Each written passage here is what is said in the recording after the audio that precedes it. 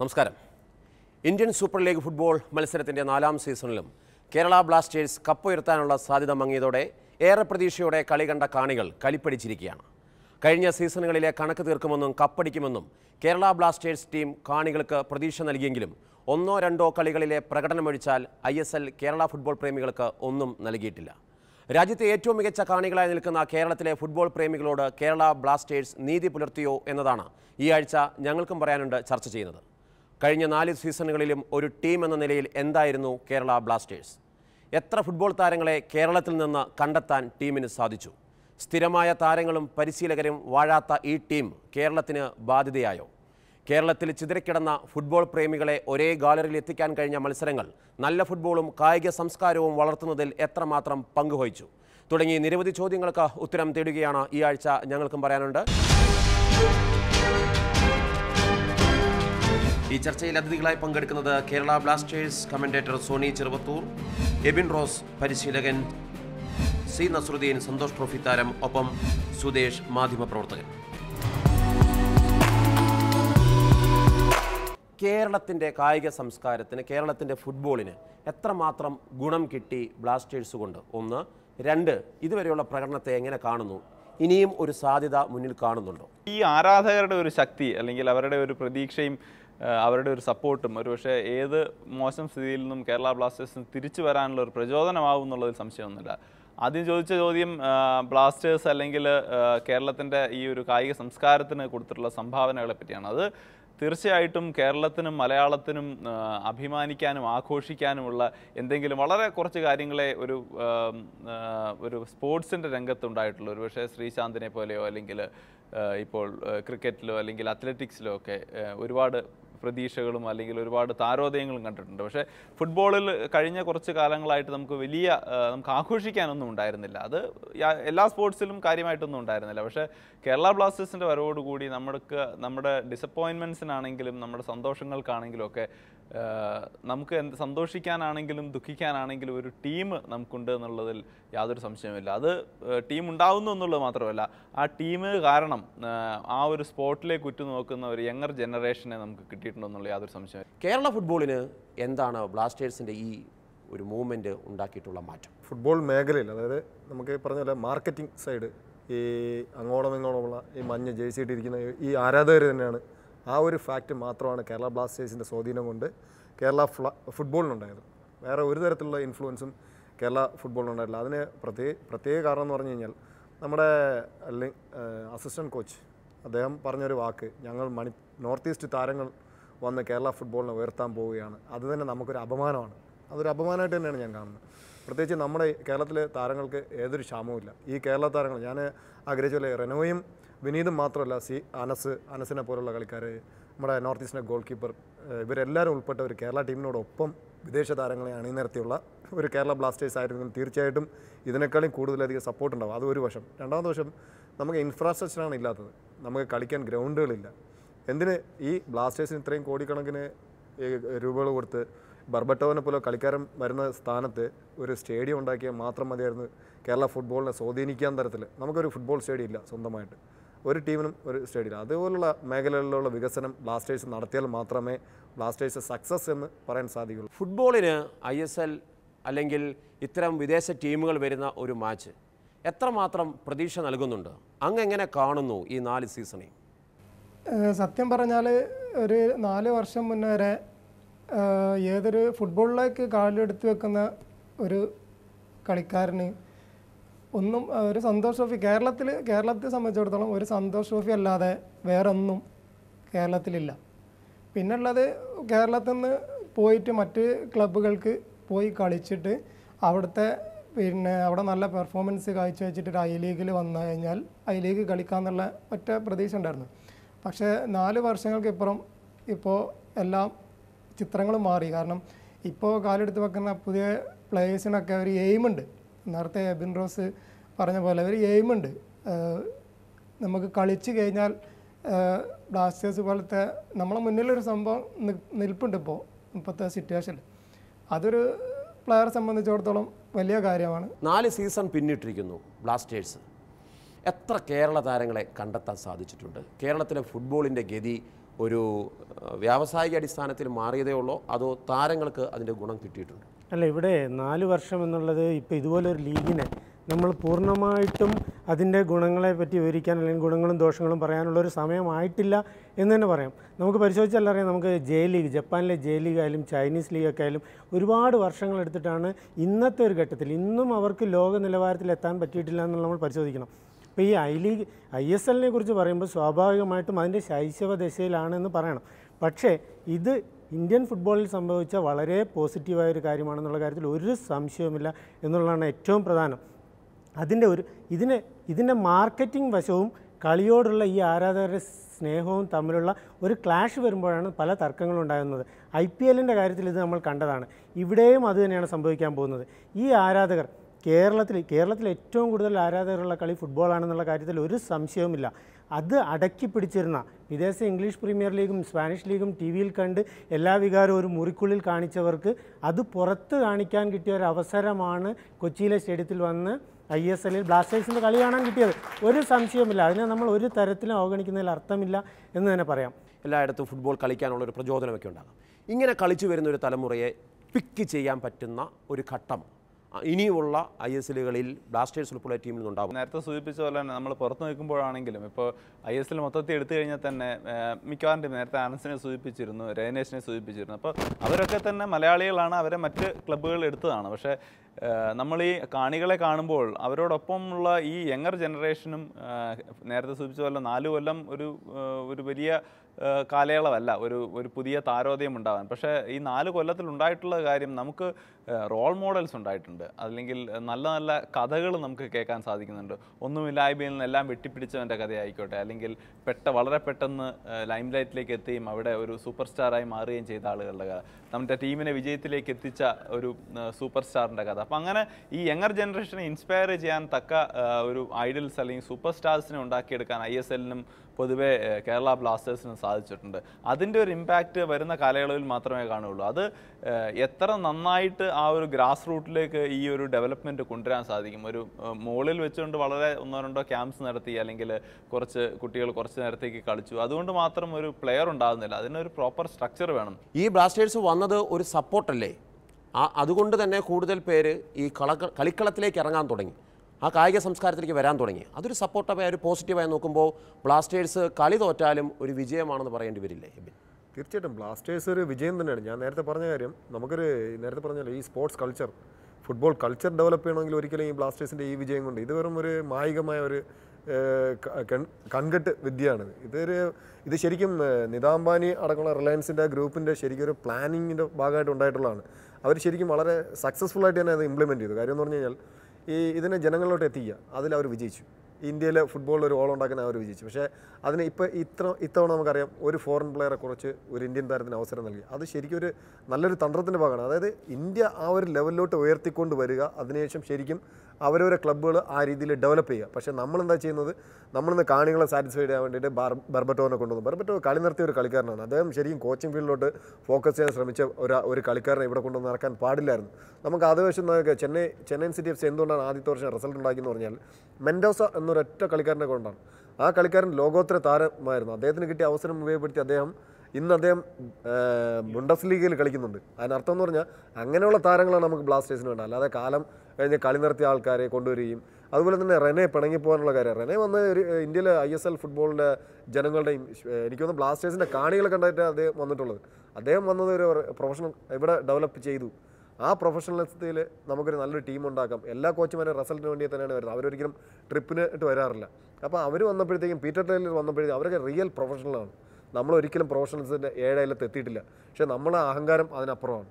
അപ്പോൾ ആ പ്രൊഫഷണലിസത്തിൽ എത്തുന്ന ആ പ്രതീക്ഷയോടെ വന്ന് അവർ പിണങ്ങിപ്പോകാനുള്ള കാര്യം തന്നെയാണ് നമ്മുടെ ഇവിടുത്തെ ഈ ഫുട്ബോളിന്റെ ശരിക്കുള്ള സ്ട്രക്ചർ ലൈമാണ് അതായത് നേരത്തെ പറഞ്ഞ അണ്ടർ സെവൻ അണ്ടർ ടെൻ ഇതൊക്കെ ശരിക്കും പറയാൻ നിങ്ങൾക്ക് അത്ഭുതം തോന്നും. അഞ്ച് വർഷം മുമ്പേ കോവളം എഫ് സി എന്ന ക്ലബ്ബ് വഴി ഈ ട്രിവാണ്ടത്ത് സ്കൂൾസ് ലെവലിൽ അണ്ടർ ടെൻ ടൂർണമെന്റ് നടത്തിയപ്പോൾ അത് നടക്കാൻ സാധ്യതയില്ല എന്ന് പറഞ്ഞിട്ട് കളിയാക്കിയവർ ഒരുപാടുണ്ട്. പക്ഷേ പതിനെട്ട് ടീമുകളെ കൂട്ടി ഈ പ്രോജക്റ്റ് നമ്മൾ ആദ്യമായിട്ട് ഇത് നമുക്ക് അറിവില്ലാത്തതുകൊണ്ടല്ല. പക്ഷേ നമ്മുടെ കൾച്ചർ ഇന്ന് അംഗീകരിക്കാൻ തയ്യാറില്ല. അപ്പോൾ ഈ ഇത് ഈ ജൂനിയർ ലെവലിൽ ഗ്രാസ് റൂട്ട് ലെവലിൽ കളിപ്പിച്ച് കൊണ്ടുവന്നാൽ മാത്രമേ നമുക്ക് നല്ല താരങ്ങൾ കിട്ടൂ. രണ്ടോ അവർക്ക് കോമ്പറ്റീവ് ആയിട്ടുള്ള മത്സരം വേണം. എവിടെ ടൂർണമെന്റ് ടൂർണമെന്റ്സ് ഇല്ല.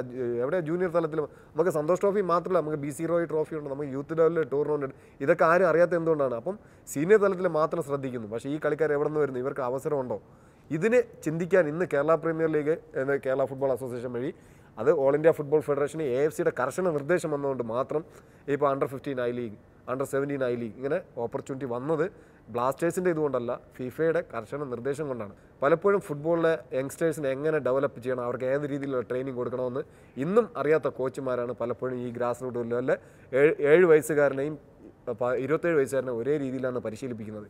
ഇത് പലപ്പോഴും ആ കുട്ടികളുടെ വളർച്ചയെ ബാധിക്കും. ഇന്ന് നമ്മൾ റിസൾട്ടിന് വേണ്ടി മാത്രമാണ് പരിശീലിപ്പിക്കുന്നത്. റിസൾട്ട് കിട്ടി. ആ കുട്ടികളുടെ റിസൾട്ട് ഞാൻ വലിയ കോച്ചെന്ന് പറഞ്ഞ് ഭാവിച്ച് നടക്കാനാണ് എല്ലാവർക്കും താല്പര്യം. ശരിക്കും ഈ നമ്മുടെ യൂറോപ്യൻ കൾച്ചർ എന്ന് പറഞ്ഞാൽ അതല്ല. പതിനാല് വയസ്സ് വരെ അവരെ ശരിക്കുള്ള ഫുട്ബോൾ എൻജോയ്മെന്റ് ഈ നമ്മൾ പറഞ്ഞ ഈ ഫുട്ബോൾ ഫെസ്റ്റ് ഫുട്ബോൾ ഫെസ്റ്റ് അല്ലെങ്കിൽ ഫൺ ഗെയിംസ് എന്ന് പറഞ്ഞു കഴിഞ്ഞാൽ നമ്മുടെ വിചാരി നമ്മുടെ കോച്ചസ്മാർ പഴയ കോച്ചസ്മാർ പറയുന്നത് ബോബനും മോളിയും വായിക്കുന്നതാണ് ഫൺ ഗെയിംസ് അത് പക്ഷേ അതല്ല. ശരിക്കും ഫൺ ഗെയിംസ് എന്ന് പറഞ്ഞു കഴിഞ്ഞാൽ ബോൾ കൊണ്ട് അവനെ എൻജോയ് ചെയ്ത് ഈ കളിയിലോട്ട് അട്രാക്റ്റ് ചെയ്യണം. ചെറിയ പ്രായത്തിൽ അവന്റെ റിസൾട്ടിന് വേണ്ടിയിട്ട് അവനെ മല കയറ്റുകയും കുതിര കുതിര ചാടിക്കുക ഇതൊന്നും അല്ല പരിശീലനം. ഈ ഇത് മനസ്സിലാക്കാതെയുള്ള ചില കോച്ചസ്മാർ ഇന്നും ആ ഒരു തെറ്റായ പ്രവണത ഈ ഇതുവഴി വന്നിട്ടും ഉണ്ട്. നല്ല രീതിക്കുള്ള കാര്യങ്ങൾ വന്നിട്ടുണ്ട്. അക്കാഡമികൾ വന്നിട്ടുണ്ട് നല്ല കാര്യം.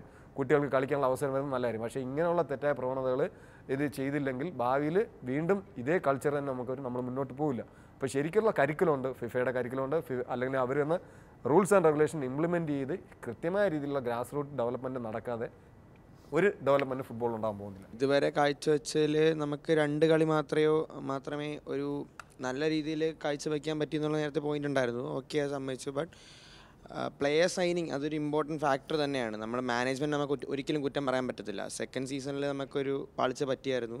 പിന്നെ തേർഡ് സീസണിൽ നമ്മൾ അട്രാക്റ്റീവ് സൈനിങ്സ് ആരും എടുത്തിട്ടില്ല എന്നുള്ള ഒരു ചർച്ച ഉണ്ടായിരുന്നു. പക്ഷേ അത് അപ്പോൾ അതിനെ മറികടന്നാണ് നമ്മൾ സ്റ്റാർ വാല്യൂ ഉള്ള പ്ലേയേഴ്സായ ബേബറ്റോനെയും വെസ്പ്രോണും എല്ലാം സൈൻ ചെയ്തത്. സോ മാനേജ്മെന്റ് നമുക്ക് ഒരു രീതിയിലും കുറ്റം പറയാൻ പറ്റത്തില്ല. ദേ ഡിഡ് ദ ബെസ്റ്റ്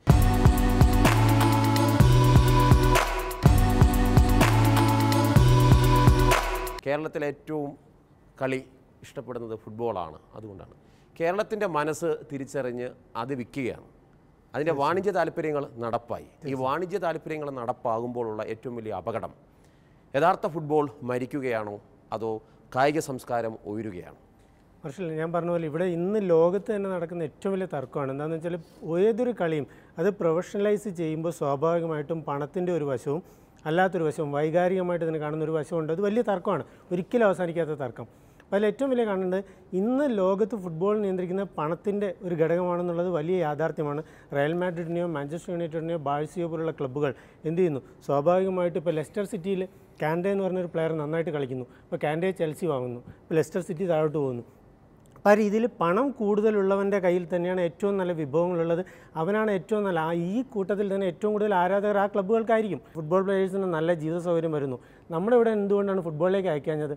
അവന് പരിക്ക് പറ്റും അല്ലെങ്കിൽ നല്ലൊരു ജോലി കിട്ടൂല ഇവൻ കളിക്കാൻ പോകണ്ട അവൻ പോകണ്ട അവൻ തീരുമാനിക്കുന്നു. അപ്പോൾ അതിനൊരു സാഹചര്യം ഉണ്ടാക്കുന്നത് പ്രൊഫഷണൽ ഫുട്ബോൾ വരുമ്പോൾ എന്താണെന്ന് വെച്ചാൽ ജോലി കിട്ടുക എന്നുള്ളതല്ല ഫുട്ബോൾ തന്നെ അവനെല്ലാം കൊടുക്കുന്ന ഒരു അവസ്ഥ ഉണ്ടാകുന്നു അതിലേക്ക് പോകണമെങ്കിലാണ് ഞാൻ പറഞ്ഞത് വളരെ താമസിച്ച അല്ലെങ്കിൽ ഇന്ത്യ പോലുള്ള ഒരു രാജ്യത്ത് അത് നടപ്പാകണമെങ്കിൽ വളരെയധികം നല്ല കാത്തിരിപ്പും ക്ഷമയും ഒപ്പം തന്നെ ഈ ആരാധകരും എല്ലാവരും ഒന്നിച്ചു കൂടുന്ന ഒരു കൾച്ചർ ഉണ്ടാവണമെന്ന് പറഞ്ഞത് അവിടെയാണ്. നമുക്കിപ്പോൾ ടീം പ്ലെയേഴ്സിനെ എടുത്തതിൽ കുറവുണ്ടെന്ന് എനിക്ക് തോന്നുന്നില്ല. കാരണം ഇപ്പോൾ ഡ്രാഫ്റ്റിൽ നമ്മൾ കഴിഞ്ഞ വർഷം മികച്ച കളി പുറപ്പെടുവിപ്പിച്ച മിലൻ സിംഗ് അതേപോലെ അറാട്ട ഇസുമി പോലുള്ള മികച്ച താരങ്ങളെ നമുക്ക് മിഡ്ഫീൽഡിൽ കൊണ്ടുവരാൻ കഴിഞ്ഞു.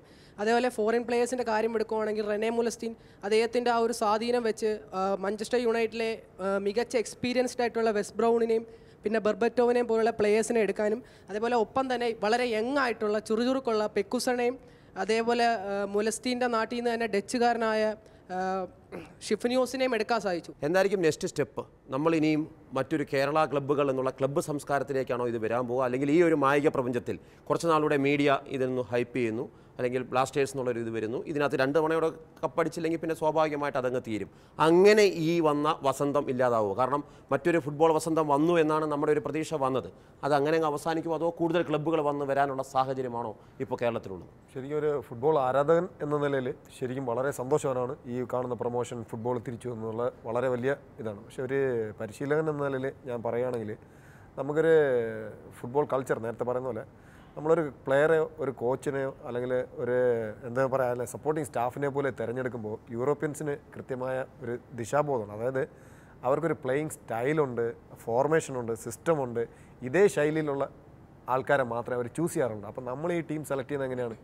അവിടുന്ന് ഇവിടുന്ന് കിട്ടുന്ന താരങ്ങളെ അല്ലെങ്കിൽ സ്റ്റാർ വാല്യൂ നോക്കി ഇപ്പം തന്നെ ഈ ആരാധകരുടെ വാ അദ്ദേഹത്തിന്റെ വാക്കുകൾ തന്നെ അദ്ദേഹം പറഞ്ഞിരിക്കുന്നത് നമ്മളെ സൈനിങ് വളരെ മികച്ചതാണ് മാനേജ്മെന്റിനെ കുറ്റം പറയാൻ സാധിക്കില്ല എല്ലാം കൊണ്ടും ബെറ്ററാണ് നമുക്ക് ഇനിയും ചാൻസ് ഉണ്ട്. റിയാലിറ്റി അതല്ല.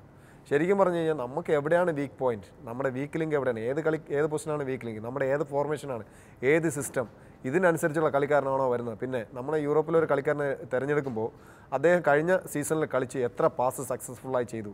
എത്ര ടാക്കിൾ ചെയ്തു? എത്ര ഹെഡ് ചെയ്തു? എത്ര പാസ് ഇതിങ്ങനെയുള്ള അവരുടെ കംപ്ലീറ്റ് റെക്കോർഡ്സ്. അദ്ദേഹത്തിന് എത്ര ഫിറ്റ്നസ് ഉണ്ട് അദ്ദേഹത്തിന് എങ്ങനെയാണ് അദ്ദേഹത്തിന്റെ ബിഹേവിയർ ഇതെല്ലാം അനുസരിച്ചിട്ടാണ് ഒരു കളിക്കാരനെ സെലക്ട് ചെയ്യുന്നത്. പക്ഷെ നമ്മളിപ്പോഴും പറയുന്നത് ഡേവിഡ് ജെയിംസ് വന്നു ഇമ്പാക്റ്റ് ഉണ്ടായി മൂന്ന് മാച്ചിൽ രണ്ടെണ്ണം ജയിച്ചു. അത് ഡാവിഡ് ജെയിംസിന്റെ ഇമ്പാക്റ്റാണ് ഏതെങ്കിലും ഒരു ഫുട്ബോൾ മാച്ചിന് ഒരു കളിക്കാരൻ ശരിക്കും ഓക്കെ മോട്ടിവേഷൻ ടാക് ടോക്കിലൊക്കെ നമുക്ക് ശരിക്കും ടീമിനെ പ്രചോദിപ്പിച്ച് റിസൾട്ട് ഉണ്ടാക്കാം. പക്ഷേ ഈ രണ്ട് ദിവസം കൊണ്ട് ഒരാൾക്ക് ഒരു ടീമിന് ജയിക്കുന്ന സംഘമാക്കി മാറ്റാൻ സാധിക്കും. അതൊരു റിയാലിറ്റി അല്ല. അപ്പോൾ പറഞ്ഞതുപോലെ ഇതിൽ ചെറിയ അഡ്ജസ്റ്റ്മെന്റ് ഒക്കെ ഞാൻ- എന്നെ പോലെ ആൾക്കാർ ചില അഡ്ജസ്റ്റ്മെന്റുകൾ കാണുന്നുണ്ട്. അപ്പം ഞാൻ പറയുന്നത് ഈ ഇങ്ങനെ പോയി കഴിഞ്ഞാൽ എന്തായാലും ബ്ലാസ്റ്റേഴ്സ് അധികാലം അധികാലം മുന്നോട്ട് പോവില്ല. ഞാൻ നേരത്തെ പറഞ്ഞില്ല നമുക്കൊരു ഒരു ടീമല്ല വേണ്ടത്. ഇപ്പോൾ പറഞ്ഞ പോലെ രണ്ട് മൂന്ന് ടീമാണ്. നീ ഈ ഫുട്ബോൾ ഡെവലപ്മെന്റ് നേരത്തെ സുധീഷ് ചേട്ടൻ പറഞ്ഞ നാല് വർഷമായിരുന്നു അത് തെറ്റാണ്. എന്ന് പറഞ്ഞു കഴിഞ്ഞാൽ ഐ ലീഗ് വന്നപ്പോഴും നമ്മൾ ഇതേ പ്രതീക്ഷയിലായിരുന്നു. ഐ ലീഗിന്റെ പേര് മാറ്റി ഐ എസ് എൽ ആക്കി. പക്ഷേ ഐ എസ് എൽ അൺഒഫീഷ്യൽ എന്ന് ആലോചിക്കണം. ഐ ലീഗാണ് ഇന്ത്യയുടെ official matches I S L അപ്പോൾ ഇപ്പോഴും ഫെസ്റ്റാണ് പക്ഷേ ഈ റിലയൻസിന്റെ ആ ഒരു പവറും മണി പവറും ഉണ്ട്. നേരത്തെ പറഞ്ഞ മണി പവറിന് വളരെ ഇമ്പോർട്ടന്റ് സാധനമുണ്ട്. ഇതിനെ ഒഫീഷ്യൽ ആക്കാൻ വേണ്ടി ശ്രമിച്ചുകൊണ്ടിരിക്കുകയാണ്. പിന്നെ രണ്ടാമത് വേറൊരു വിഷയം ബ്ലാസ്റ്റേഴ്സിന് അല്ല ഈ ഐ ഐ ലീഗ് ടീം ഉണ്ടാക്കാൻ പോകുന്നത്. അത് എല്ലാ ഐ എസ് എൽ ടീമുകളും സെക്കൻഡായിട്ട് ഐ ലീഗ് ടീം അവിടെ നമുക്കൊരു പ്രതീക്ഷയുണ്ട്. അതിലെങ്കിലും നമ്മുടെ കേരള താരങ്ങളെ പരിഗണിച്ച് കേരളത്തിലെ കൂടുതൽ ഇംപ്ലിമെന്റ് ചെയ്ത് അല്ലെങ്കിൽ സപ്പോർട്ടിംഗ് സ്റ്റാഫ് അടക്കമുള്ള നമ്മുടെ കേരള കൾച്ചറിനനുസരിച്ചുള്ള കേരള താരങ്ങൾക്കും ഇതിൽ പ്രാമുഖ്യം കൊടുത്തുള്ള ഒരു ടീം ഇറക്കി ആ ടീം അങ്ങനെ വരികയാണെങ്കിൽ അതിലെനിക്ക് പ്രതീക്ഷയുണ്ട്. അല്ലാതെ ഈ ബ്ലാസ്റ്റേഴ്സിന്റെ വെസ്റ്റ് ബ്രൗണും വെറവട്ടേനും പോലുള്ള കളിക്കാരെ കൊണ്ടുവന്ന് നമുക്ക് ഒരിക്കലും ഈ കേരള ഫുട്ബോളിനെ ഡെവലപ്പ് ചെയ്യാൻ നമ്മൾ ആഗ്രഹിക്കേണ്ട. അതുപോലെ തന്നെ നോർത്ത് ഈസ്റ്റിന്റെ താരങ്ങളല്ല നമ്മുടെ കേരളത്തിന്റെ കേരള ബ്ലാസ്റ്റേഴ്സിന്റെ അഭിമാനമാവേണ്ടത്. നമ്മുടെ സ്വന്തം താരങ്ങൾ നമ്മൾ വളർത്തിയെടുക്കുന്ന കേരള താരങ്ങളിലൂടെ നമ്മൾ അഭിമാനമാണ് അനസിനെ കൊണ്ടുവരാം. നമുക്ക് ഈ പ്ലെയർ ഡ്രാഫ്റ്റ് നോക്കി അവർക്ക് അഡ്ജസ്റ്റ് ചെയ്ത് വിളിക്കാൻ ഈ മാനേജ്മെന്റ് ഒരിക്കലും കേരള ഫുട്ബോളിന്റെ ഡെവലപ്മെന്റ് ഒന്നും ചെയ്തില്ല. കാര്യം അവർ തന്നെ എവിടെ ഉള്ളതാണ് കേരളത്തിന്റെ പുറത്തുള്ള. അവർക്ക് ഒരിക്കലും കേരളത്തിനോട് താല്പര്യമില്ല. അവർ ഈ പാഷനെ അവർ ഉപയോഗിച്ച് ബിസിനസ് ചെയ്യുന്നു. അതിനപ്പുറം അവർക്ക് ഏതൊരു ലക്ഷ്യമോ ഇന്ത്യ കേരളത്തിലെ ഫുട്ബോൾ ഡെവലപ്പ് ചെയ്യാൻ ഏതൊരു താല്പര്യമില്ല അങ്ങനെ ഒരു താല്പര്യം ഉണ്ടായിരുന്നെങ്കിൽ കൃത്യമായ രീതിയിൽ അവർ ഗ്രാസ് റൂട്ട് ഡെവലപ്മെന്റ് കേരളത്തിൽ അവർ അവർ വാഗ്ദാനങ്ങൾ ഒരുപാട് ചെയ്തിരുന്നു. പക്ഷേ അത് പ്രോപ്പറായിട്ട് അവർ ഫംഗ്ഷൻ ചെയ്യുന്നില്ല. അവർ അതിലൂടെ കാശാണ് ഉണ്ടാക്കുന്നത്.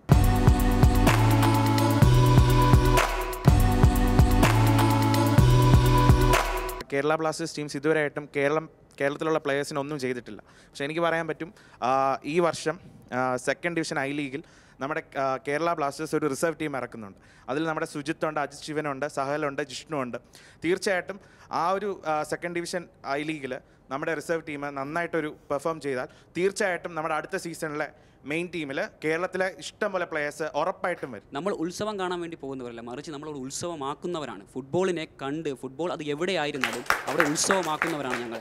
അംബാനി വന്ന് അതിനൊന്ന് തിരി കൊളുത്തി. പക്ഷേ ഇവിടെ ഇത് നല്ല രീതിയിൽ കേരള ഫുട്ബോളിനും ഇന്ത്യൻ ഫുട്ബോളിനും ഗുണമാകണമെങ്കിൽ ഇതിൽ കുറച്ചുകൂടെ ഗൗരവമുള്ള ഇടപെടലുകൾ ഗവൺമെന്റുകളും അതുപോലുള്ള നമ്മുടെ സ്പോർട്സ് സംഘടനകളും മറ്റുള്ള ഇടപെടൽ കൂടി വന്ന് കുറേ കൂടെ നല്ല രീതിയിൽ. ഇപ്പോൾ ബ്ലാസ്റ്റേഴ്സ് നാട്ടിലെല്ലായിടത്തും അക്കാദമി തുടങ്ങിയതുകൊണ്ട് കാര്യമില്ല.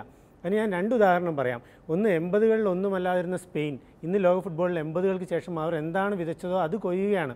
ഒപ്പം തന്നെ ജർമ്മൻ ഫുട്ബോൾ ടീം ഇപ്പോൾ ഏറ്റവും പുതിയ ഒരു പുസ്തകം. ദാസ് റിബൂട്ട് എന്ന് പറഞ്ഞ ഒരു പുസ്തകത്തിൽ പോലും ജർമ്മൻ ഫുട്ബോളിന് എന്താണ് സംഭവിച്ചത്? ലോതർ മാത്യൂസിന് ശേഷം ജർമ്മൻ ഫുട്ബോൾ താഴോട്ട് പോയപ്പോൾ അവരതിനു വേണ്ടി ഗവൺമെന്റ് ഉൾപ്പെടെ അവിടുത്തെ ഫുട്ബോൾ സംഘടനകളും ഒപ്പം തന്നെ ഗവൺമെന്റ് ഉൾപ്പെടെ എന്താണ് ചെയ്തത് എങ്ങനെയാണോ ഇന്ന് ജർമ്മനി നമുക്കറിയാം അടുത്ത ലോകകപ്പ് വരുമ്പോൾ സെമി കളിക്കുന്ന ഉറച്ച ടീമാണ് ജർമ്മനി. ആ രീതിയിലേക്ക് വളർന്നു കഴിഞ്ഞു. അപ്പോൾ ആ രീതിയിൽ വളർത്താൻ നമുക്ക് സാധിക്കണം ഈ ആവേശത്തെ. ഈ ആവേശത്തെ തൽക്കാലം മഞ്ഞക്കുപ്പായം ഇടുകയും മഞ്ഞച്ചായം അടിക്കുകയും ചെയ്യുന്നതിൽ ഒതുക്കാതെ എന്താണോ ഈ ഫുട്ബോളിന് വേണ്ടി ഓരോരുത്തർ ചെയ്യേണ്ടത്? സമരം ചെയ്ത് നേടിയെടുക്കണമെങ്കിൽ ആ രീതിയിൽ നേടിയെടുക്കണമെന്നാണ് പറയാനുള്ളത്. ഈ ആരാധകരുടെ എനർജി അവിടെയാണ് ചിലവാക്കേണ്ടത്. ആ രീതിയിൽ നിരന്തരം ആവശ്യങ്ങൾ ഉന്നയിച്ചുകൊണ്ട് നമ്മുടെ ഫുട്ബോൾ നല്ല ലാമാസിയ പോലുള്ള അക്കാദമി കാരണമാണ് ബാഴ്സലോണ പോലുള്ള ക്ലബ്ബുകൾ മുന്നോട്ട് വരുന്നത്. ആ അക്കാദമിയുടെ ഒറ്റ ബലത്തിൽ നാട്ടിൽ മുഴുവൻ അക്കാദമി തുടങ്ങുകയല്ല. അപ്പം അതുപോലുള്ള വളരെ ക്രിയേറ്റീവായിട്ടുള്ള വളരെ നല്ല കളിക്കാരെ കുട്ടികളെ കൊണ്ടുവന്ന് പഠിപ്പിക്കുന്ന അക്കാദമികൾ വളരെ ഇന്റൻസീവായിട്ടുള്ള ട്രെയിനിങ് കൊടുക്കുക അവിടെ നിന്ന് ബ്ലാസ്റ്റേഴ്സിന് പ്ലേയേഴ്സിനെ കണ്ടെത്തുക. അല്ലാതെ കണ്ണൂർ കാസർഗോഡ് ഇടുക്കി എല്ലായിടത്തും പോയി അക്കാദമി തുടങ്ങി അത് നോക്കാൻ ആളില്ല ഒരു പഴയ പോലെ തന്നെ. പിന്നെയും ചങ്കരൻ തന്നെ എന്ന് പറഞ്ഞുള്ള അവസ്ഥയാവും. അതിന് പകരം ഞാൻ പറയുന്നു കുറച്ചുകൂടെ ഗൗരവമായ ഇടപെടൽ. അംബാനി ഇതിനെ എങ്ങനെ മുതലെടുക്കുന്നുണ്ടോ അതിന്റെ സൈഡിൽ നിന്ന് അമ്പത് ശതമാനം നമ്മൾ എന്ത് ചെയ്യണം? നമ്മുടെ നാട്ടിലെ ഫുട്ബോളിനെ വളർത്താൻ ഇതുകൊണ്ട് എങ്ങനെ നമുക്ക് ഇടപെടാൻ പറ്റുമെന്ന് ഇവിടുത്തെ ഫുട്ബോൾ സംഘടനകളും ഒപ്പം തന്നെ സർക്കാരും ആലോചിച്ച് ആ രീതിയിൽ കേരള ഫുട്ബോളിന് ഇത് ഈ ഐ എസ് എൽ ഗുണകരമാക്കി മാറ്റണം. അല്ലെങ്കിൽ ഐ പി എല്ലിൽ നമുക്ക് പണ്ടൊരു ടീം ഉണ്ടായിരുന്നു. അപ്പോൾ ആ ടീം എവിടെ നിന്ന് ആർക്കും അറിയില്ല. കാണികളെല്ലാം തയ്യാറാണ്. ഇനിയും കളിക്കാരും കളിയുമാണ് കേരളത്തിന് ആവശ്യം. ഫുട്ബോൾ പ്രേമികളുടെ ഈ ആവേശത്തെ കായിക സംസ്കാരത്തെ വളർത്താനുള്ള ഒരു ചവിട്ടുപടിയായി കണ്ടുകൊണ്ട് അധികാരികൾ ശ്രദ്ധിക്കുക. കപ്പടിക്കണം. അതോടൊപ്പം തന്നെ സ്വല്പം കലിപ്പടിച്ചായാലും ഇതെല്ലാം നേടിയെടുക്കുക. ആ നേട്ടമുണ്ടാകും. ബ്ലാസ്റ്റേഴ്സ് തിരിച്ചു വരുമെന്നുള്ള പ്രതീക്ഷയിൽ ഒരു ബ്ലാസ്റ്റേഴ്സ് ആരാധകൻ ഇവിടെ ഈ ചർച്ച അവസാനിപ്പിക്കുന്നു. അടുത്തയാഴ്ച മറ്റൊരു വിഷയമായി വീണ്ടും കാണാം. അതുവരെ നല്ല നമസ്കാരം.